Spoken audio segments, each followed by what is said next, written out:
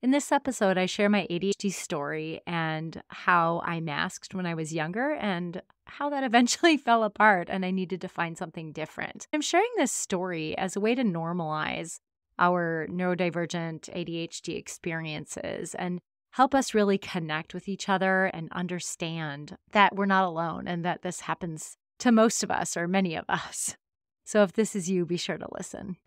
Hi, I'm Jen Barnes, and you're about to experience how to ditch the old ways of doing things, embrace your neurodivergence, learn tips and tricks to function optimally, and love yourself, neurodivergence and all. Welcome to the Self Loved Woman podcast. Hey, it's Jen.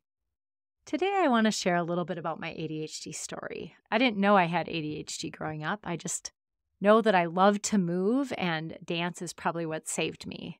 But I always did well in school, and I now know that it's because I found that I was able to get accolades for academic achievements and doing well and my intelligence. So I was able to mask some of my ADHD by getting really good grades and things like that, even though there were still really subtle signs of it, like I didn't do well at testing. Because when I would do the reading comprehension on the Iowa Basic Standards test, I was a slow reader because of my ADHD. I couldn't focus, and a lot of times I had to read the paragraph like it was a play in my head so that I could get myself to focus because it would stimulate enough dopamine that I was like, oh, yeah, this is interesting now. But it turns out on those time tests, there's not time for that. So I was often unable to finish. Despite my high math scores and my good grades, I was unable to score much above the 60s in a lot of my reading tests, as well as the tests that involved reading, like social studies and even some of the science stuff on those Iowa basic standard tests. I remember it just left me devastated, feeling like I was an idiot. I'm sure I'm not alone in that. I'm sure that we all have those times where our ADHD interfered with our performance on something and then made us feel stupid. Having gone to Catholic school my entire life, I was pretty terrified of the nuns. and even the lay teachers, like there was a lot of shame and fear used to teach us how to behave. That's what forced me to figure out how to mask the heck out of my symptoms so that I wasn't like getting in trouble because you didn't want to be in trouble in the school I went to. That was like not going to happen. And so I found ways to make myself focus. I found that anxiety helped me get stuff done. We know that now that a lot of times people with D have anxiety, and some of the anxiety is anxiety about being judged and rejected for our ADHD or shamed. But some of us figured out that, oh, if I can get my fight or flight response involved here, like through procrastination or through creating some kind of fear, or maybe in the case of Catholic school, for me, it was real fear, then that anxiety will help me focus enough to get something done. And this worked well enough for me. I did really well academically all through high school and even in college until until I was an actuary. I became an actuary out of college, which really I was an actuarial analyst. And what that is, is you do financial analysis and pricing for insurance companies. And I loved my job because it was math and I didn't have to do reading, something that I wasn't good at at the time, or at least was told I wasn't good at, right? And so I got to do a lot of math and it was awesome. I loved my job, but I had to take these exams every six months and it involves self study which involves reading these really dry textbooks and sometimes multiple books for each exam, often taking more than one exam at a time. The pass rate on these exams at the time was 28%, and that included people taking the exam for the second and third time. And so the stakes were pretty high. These exams were very, very rigorous. And had it been just math, I probably would have been fine. But what I found is that reading those books that were so dry was like torture to me. I just couldn't get myself to focus. It was so understimulating. And there was nothing I could get myself to do to be able to read through it at any kind of pace that would allow me to learn the material in the six months I had. So much so that I found myself with not enough hours in a day to be able to learn everything. But I didn't know why. I didn't know oh, everyone else can just read this book and it's fine. It's not a problem, right? I just at the time felt like, oh, okay, these people are smarter than me. I've met my match.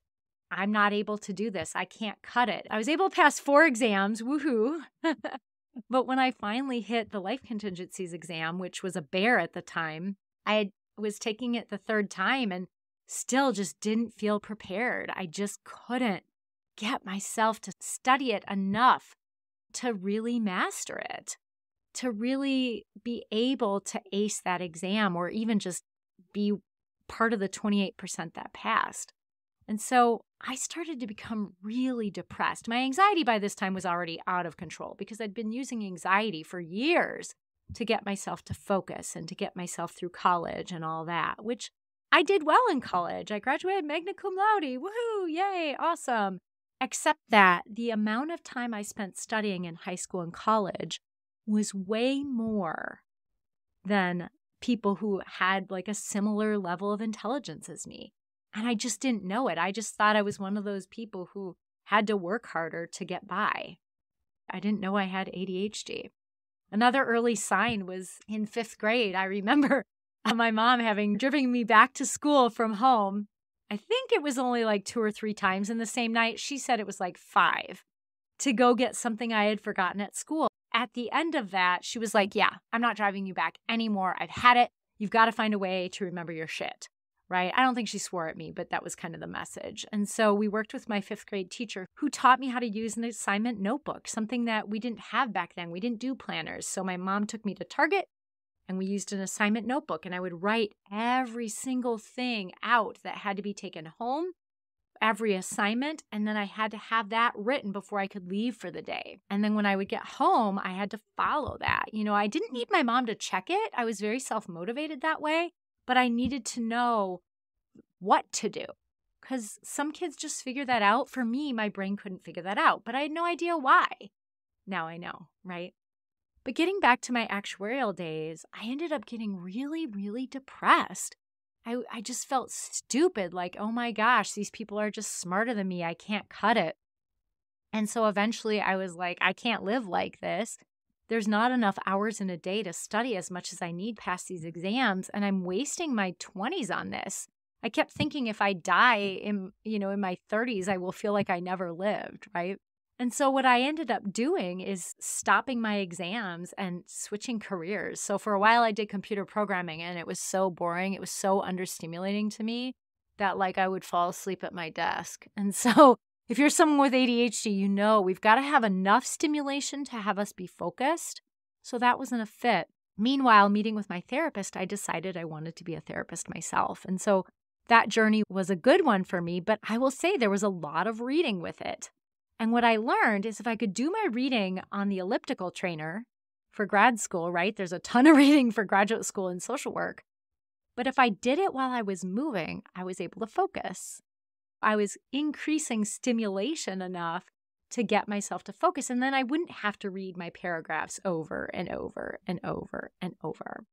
Long, long, long story, a little bit shorter.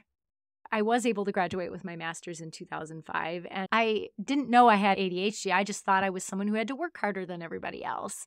Until I was working at an agency that worked with children's mental health. And we had a staff day for which we all had to draw a diagnosis and act it out for the day to help us kind of be able to understand the different diagnoses more and also to help catch diagnoses better. Even though that wasn't our job as case managers, they want us to be informed. You know, looking back, maybe that wasn't the most hmm, kind way of honoring people's mental health and things like that, but it was a way at the time, a long time ago, for us to get a feel for this well, I drew ADHD. And so I just was like super hyperactive. And, you know, because back then we thought of ADHD as the hyperactive boy thing, right? So I was super hyperactive and inattentive and distracted and all that kind of stuff. And at the end of the day, everyone had guessed everyone else. And I was the only one who no one had guessed. And they're like, Jen, we don't, we can't figure it out. And I was like, I have been so obviously being this all day, like intensely. I cannot believe you have not caught it yet. And when I told them ADHD, they all looked at each other. They're like, We thought you were just being yourself. And I was like, Oh, okay. A bunch of people who work in mental health who really know what ADHD is because we worked with a lot of kids who'd been diagnosed. were like, oh, we just thought that was you when I was acting out ADHD. And so that led me to go get to be assessed, right? But here's the thing I was assessed and they didn't give me the diagnosis. And the reason they didn't, and it says, you know, I went back and read it because I was like, oh, cool, I don't have ADHD, haha. But now that I've gone back years later, because I, really do have ADHD, I've gone back years later and looked at it. And what it said was, you probably would meet criteria, except between your intelligence and your tools that you have to, to work with it, you don't meet criteria. So basically, what it said is I, as a woman, had learned how to mask well enough to be considered functional. Even though the way that I'm functional requires a crap ton of work, right? Like, I have to exercise every day. I have to do yoga and meditate every day. I have to do free writing. I use Julia Cameron's morning pages idea, like just brain dump writing. in the morning so I can get some of that out. And I have a bunch of other tools I use just to be able to function. But for the level my intelligence happens to be, my functioning is actually lower than it should be. And that's because I have ADHD. This is so common for us women. We women are told as girls that we have to behave and get along and be the quiet, compliant ones. And especially if you're a Gen Xer or older, I know you grew up with that. Some of you millennials may have too, and even Gen Zers, I'm not sure. I'd love to hear your experience. But we grow up with this idea about what it is to be a girl, that we have to be compliant and do it right. And if we just get good grades, we'll do good enough in life, right? And then some of us go out and we find that that is just not the case. And we realize that the rules of society are different than the rules of school. And so what we used to mask as a kid no longer works. So then we either figure out new ways to mask that help us function, but really just get by, or we start to fall apart. Or in my case, we start to fall apart and then we change our life entirely so that we can function or just get by. Right? And so my life now looks very, very different. I, you know, working for other people never really worked that great for me. I don't like the eight to five schedule. That does not work for me. Having someone like waste my time in meetings telling me what to do when I already know what to do and not giving me the help I actually need, waste of time. Unsolicited advice, waste of time. Stuff like that. And with ADHD, I require a lot of self care, a lot of self love rituals to be able to function. And so spending time in meetings that aren't helping me just sucked the life out of me. And so when I went into private practice, what I found is first of all, I got to make my own schedule. So I work 10 to 7. And what that allows me to do is have like two and a half, three hours in the morning. Yes, I'm serious. Two and a half to three hours in the morning to be able to get up at my own pace, to do my gratitude journal, my morning pages, or brain dump journaling, to make my lemon water, to meditate, to do a little spiritual reading to get my exercise in and then some yoga. And then I can get ready, you know, shower, whatever, eat, that kind of stuff. But it allows me to get in my self love morning ritual, which really I need to function. Whereas when I was eight to five, everything is running around and crazy, and there's so much wasted time in that day. And so between that and then my choice, I chose not to have kids, which I don't think I could have had kids. Everyone's like, oh, you'd have been such a great mom. You're so nurturing. And I'm like, yeah, when I have my three hours in the morning, I am. But if you see me without eight hours of sleep, if you see me without having my morning ritual, you would disagree. And so for me, as an ADHD woman, I live alone in a very small house that's easy to maintain.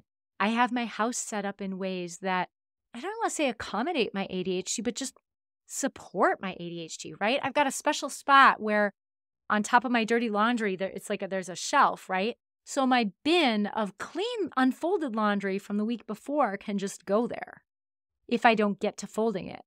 I also, you don't see this, but over here, I've got my laundry that is on the drying racks from Sunday. Today's Thursday, is the day I'm recording this. And so there's space up here in my house outside of my main living area downstairs where those clothes can hang on the drying rack all day and I can just take clothes off during the week from there instead of having to put all of it away if I'm just going to use it the next week. You know, and for a while I was like, oh, for shame. Oh, I can't put away my clothes. And now I'm like, you know what it is? I only have so many spoons. I only have so much energy. And by living alone and having my own space for this that's outside of my main living area so I don't have to look at it all the time, just it just honors that like I'm probably not going to put that shit away. Like it's just not going to happen. And rather than shaming myself for it, I've just created space for it. Rather than fighting myself and being like, "Oh gosh, I've got to find a way to get that laundry off the drying racks." What happens is, is I put it there on Sunday after I do laundry, and I have no idea when it's even dry by. So by the time it's probably dry, I've long forgotten that it's there. So, because it's out of sight, right? Out of mind. And so I'm not going to spend time in the middle of my, you know, very full work week putting away the damn laundry. Like it's just not going to happen for me. And maybe that's something you can do, but I'm sure there's things you can think of too where it's like, gosh, I've been shaming myself forever about not being able to do this. Well, what would it be like for you if you were to say, F mm-hmm. that? Maybe this is just one of those things like Jen's laundry that I'm not going to get to. So, how can you make space for that in your life? I mean, there's some stuff we have to do. We have to eat, we have to go to the bathroom. I recommend showering and brushing your teeth and things like that, both because it's good for you, right? And it creates problems if you don't do those things, but also because it can be hard socially and work wise if you happen to work with other people. But there's some stuff that we just don't have to do.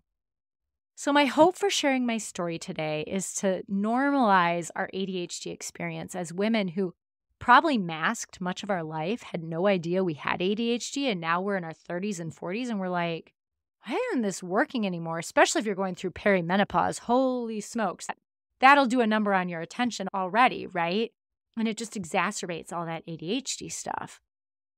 But so much of it can be shaping our lives to match our experience instead of trying to put ourselves, our square pegged selves, into this round hole of neurotypical life.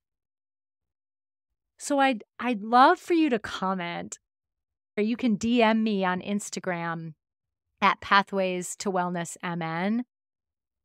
Like just how you can stop taking your square pegged ADHD, or maybe it's a star pegged ADHD or something more exciting than a square, right? and stop trying to put it in the square hole of neurotypical life. Like, tell me one thing you can do to help you do that. I would love to hear you share that. All right, take care.